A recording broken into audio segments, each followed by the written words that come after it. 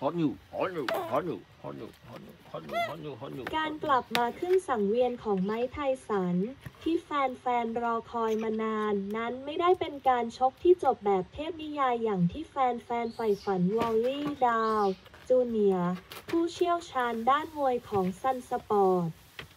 สรุปหนึ่งในค่ำคืนที่น่าเบื่อที่สุด และน่าลืมที่สุดในประวัติศาสตร์ มวย และเขาไม่ได้ยั้งมือเลย โดยออกความเห็นอย่างเผ็ดร้อนต่อเจคพอลผู้สร้างความฮือฮาในโซเชียลมีเดียยกที่หนึ่งพร พูดว่า ฉันรักคุณไหม ก่อนที่ระฆังเปิดการแข่งขันจะดังขึ้น เขารีบวิ่งหนี และจับตำนานมวยไมค์ไทสัน ได้รับปฏิกิริยาจากฝูงชนอย่างมาก เมื่อเขาต่อยหมัดเข้าที่ลำตัว และต่อยหมัดขวาเข้าเต็มแรงคำตัดสิน ไทสัน 10-9 ยกที่ 2 พอลวิ่งหนีในยกเปิดการแข่งขัน และจับไว้เหมือนอย่างที่เราคิดไว้ทอมมี่ฟิวรี่เป็นฝ่ายได้เปรียบก่อน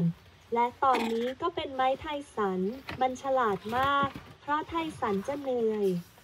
พอฟาดบัดขวาเข้าลำตัวของไทสัน ตอนนี้ไทสันดูหมดแรงแล้ว ผ่านไป 180 วินาที การต่อสู้ดูเหมือนจะจบลงแล้วคำตัดสิน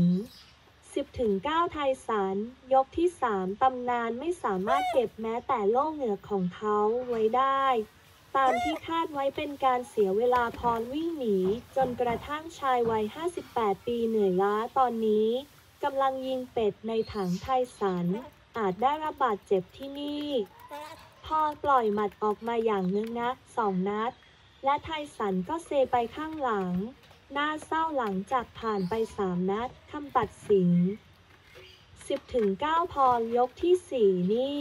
มันขยักสิ้นดี ฝูงชนเบื่อหน่ายและได้ยินเสียงโห่ดังขึ้น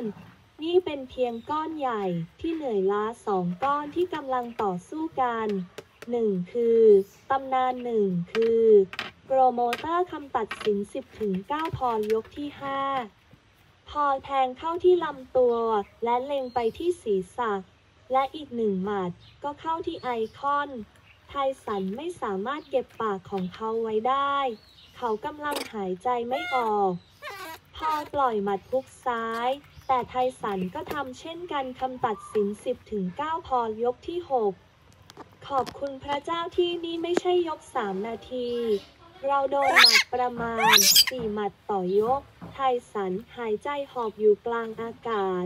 แต่รีเพย์แสดงให้เห็นว่าหมัดพุกซ้ายเฉียดคราวของพอลคำตัดสิน 10 ถึง 9 พอลยกที่